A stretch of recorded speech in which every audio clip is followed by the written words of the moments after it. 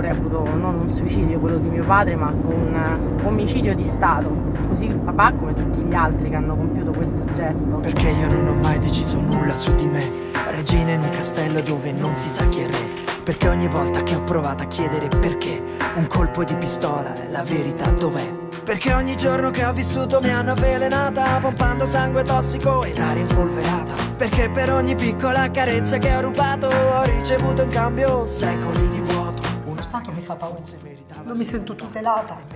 Io ho paura di questo Stato. Ciao, questo è un addio È il cuore mio Che smette Questi sono infamie sociali.